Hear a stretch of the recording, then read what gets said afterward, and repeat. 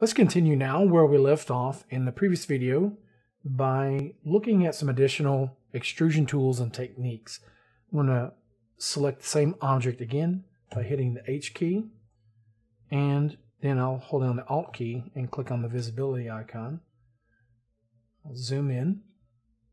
What we want to do is look at tools like the Pose tool and Vox Extrude and Vox Layer as options for creating specific extrusions from a surface. So let's choose the Pose tool first, and that's in the Adjust section right here.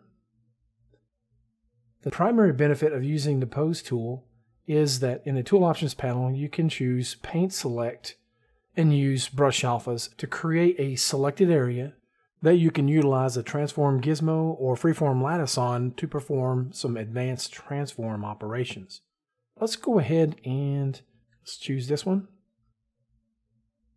And I'll use the paint with dabs again. And I'll just click here.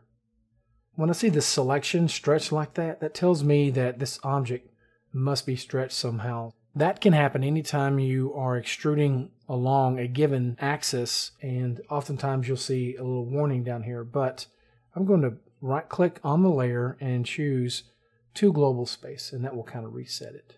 I'm also going to hide the gizmo until after I make the selection. Now when I click it's more uniform. So let's go ahead and unhide the gizmo and make a transform. If you want, you can further manipulate the selected area with the freeform lattice option that's built into this tool. You could also switch to another selection mode while using this tool. Let's clear the selection and I'll choose the line select mode.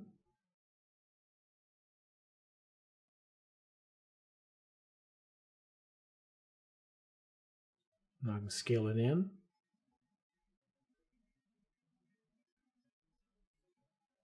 So let's clear the selection. And that's fairly rough. So we definitely would want to dynamically subdivide this given area. When we are in surface mode, we have a few different tools that allow us to do that. Live clay brushes are one option. They allow you to sculpt and tessellate simultaneously, but if you set the depth value to zero, it will only tessellate underneath your brush. You can adjust the detail level here in the Tool Options panel.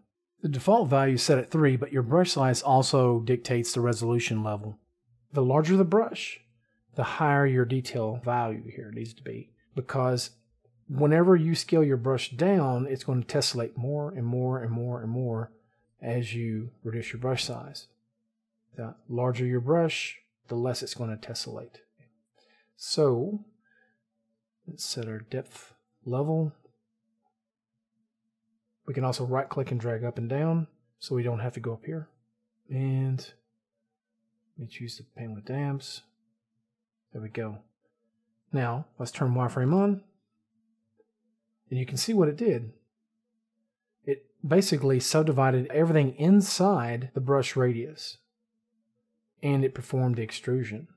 However, if we reduce our depth value to zero, then when we click or brush, it's only going to subdivide.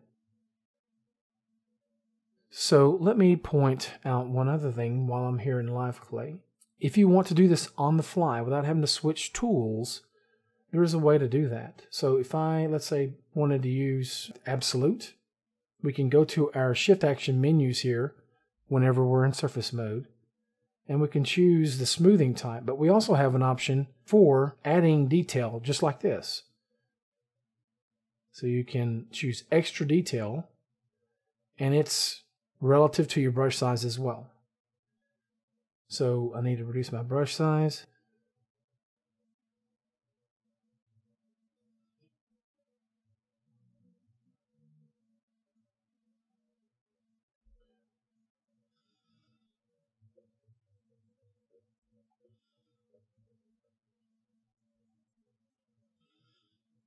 Now that that's done, let's bring our brush size down. So yeah, on the fly, you can dynamically subdivide. Another option is to use the subdivide tool. And what this will do is it will make a free selection and it has a highlighted boundary.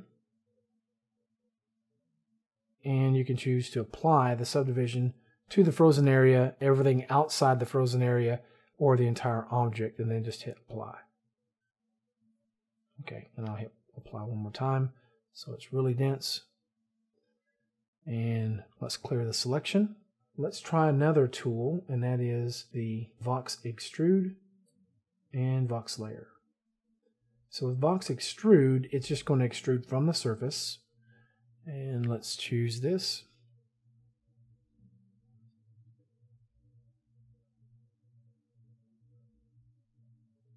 If I make that outside of this area, you can see how rough it is.